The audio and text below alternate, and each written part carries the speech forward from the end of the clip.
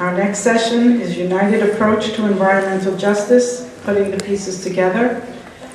And um, I'm going to ask Gwen Keyes Fleming to come up, and she's going to speak instead of Lisa Garcia, who um, is not going to be able to make it tonight, so there's a change in your program.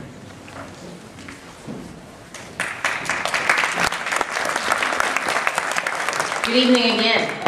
Uh, Lisa did ask me to come forth, and so I, have just got a few minutes to kind of explain on a larger national uh, level what EPA is doing. I think uh, in addition to President Obama affirming his commitment uh, by having 17 federal agencies sign on to the executive order uh, to develop environmental justice strategies at EPA specifically, uh, we've been working to put together what we call Plan EJ 14.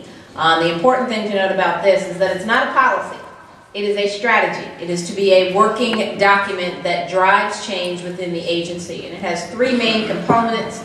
Uh, first is the cross-cutting area, second, the tool development areas, and then lastly, the program initiatives. And so under that cross-cutting theme, we're looking at several things. We're looking at implementing uh, strategies to be able to hear from the community in our rulemaking, uh, in our permitting, as well as compliance and enforcement, our community-based programs, uh, and lastly, also looking at uh, agency-wide act or administration-wide action. So you heard me talk about the interagency working group uh, and funneling that so it's not just the heads of the various agencies or the cabinet members, uh, but all of us that are appointed uh, locally would also have the same commitment to work together and collaborate with the community and with the stakeholders.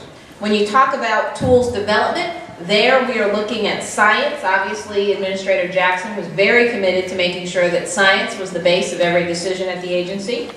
Looking at the law, uh, finding various ways to make the law work for communities instead of using it uh, in a way that seems to be contrary to, to working in a community's best interest.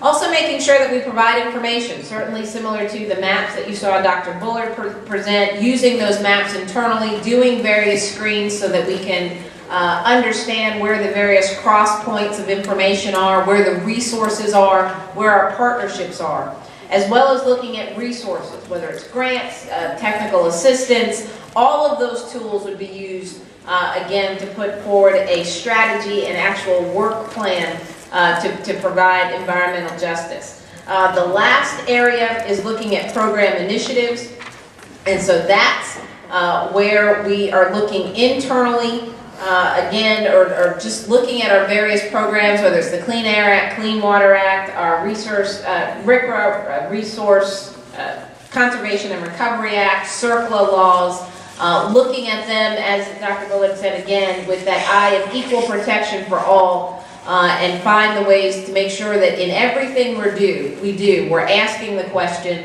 is this equitable? Is this fair? Have we reached out? Uh, and so again, I'll be available for questions. We have Sherry White from uh, Lisa's office uh, is here to help assist with the questions as well. So with that, I'll turn it over to my other panel members.